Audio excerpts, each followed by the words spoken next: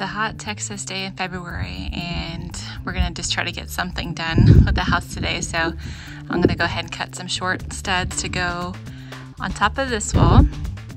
It'll be for our knee wall. Uh, we'll put on top of this double top plate uh, a stud for, for each of the studs that are here and then a double top plate on top of that instead of this uh, that one truss that's back here that'll come off and this whole thing will just be a knee wall.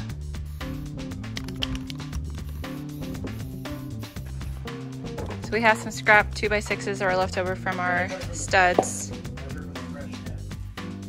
you're gonna bring me those and Tempe can measure them.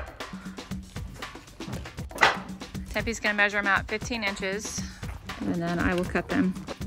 So if it's the wrong size, then you blame Tempe? Um, Tempe or me. Why do they need to be 15 inches? Because I says so. Because the number's in your head? Yep. Okay, fine.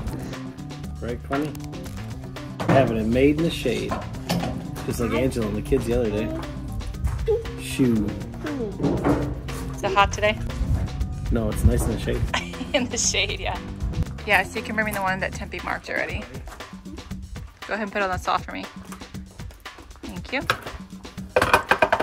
So it goes on the vendor, right? Tempe. Okay, y'all can take the ones that are finished and put it on the stack.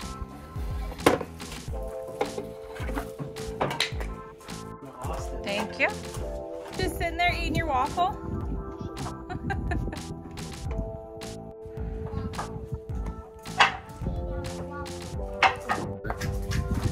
So it's kind of nice not doing anything. Yeah, you talk all quiet.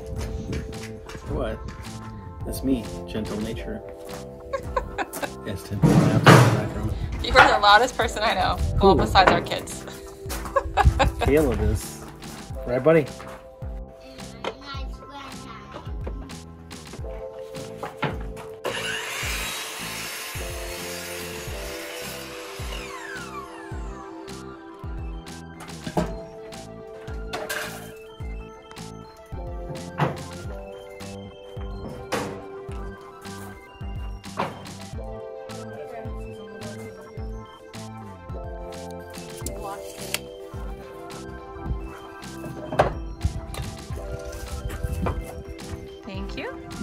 Going so much faster with all these helpers. What do you think? We're gonna go ahead and cut all the scrap for the other knee boards, knee for the other knee walls that we need.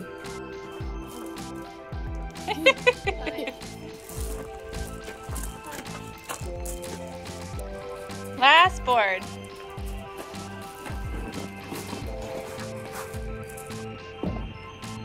How many do we end up with?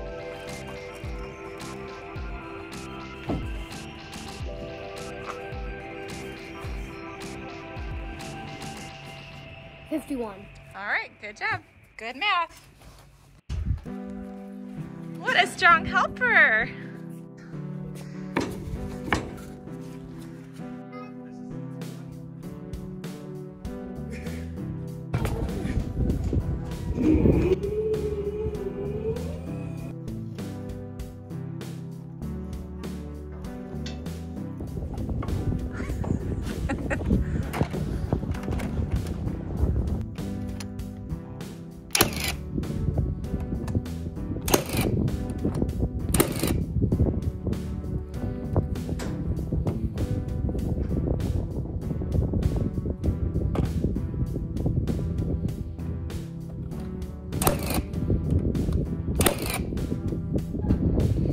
So we're toenailing these in for the knee wall, and then you're gonna put a double top plate on top.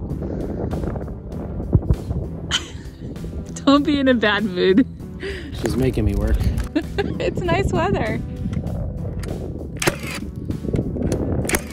It was too hot earlier. Come along. Okay.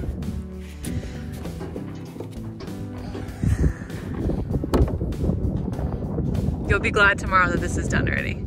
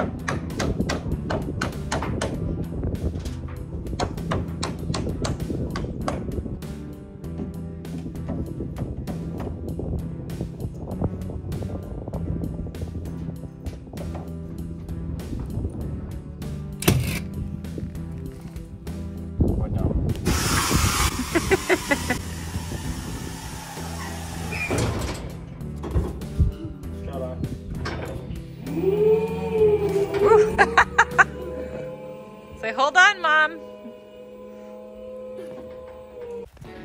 I definitely want to see blue bonnets. Where are they? Uh, they're right here. Oh, look. And also right here. I'm so happy we have blue bonnets now. Oh, you're right. Maybe they'll just multiply then. I hope this doesn't get dug up when we do the septic. And then we get to keep our blue bonnets around the house. That'd be nice. So these, these were the original ones that I saw we, before we even started. Or I guess it's when we, um, before we started framing. These were here before we started framing, so glad those made it. I just saw some blue bonnet leaves. And that gets me excited because I love blue bonnets, which usually come late February, March, depending on the weather. And we only have them in one spot right now, which is a little patch on our driveway in front of our house. And so I guess they're in the dirt here around our new house already. So who knows, we might have them many more places, hopefully. My kids don't want to be on camera anymore. Anymore. I just watched a video when we started this process. You were in the tree smiling and waving. you're, a year later, you're too grown up for a video. What, honey? I think I saw some. Oh, there was a patch up here too, originally when we started.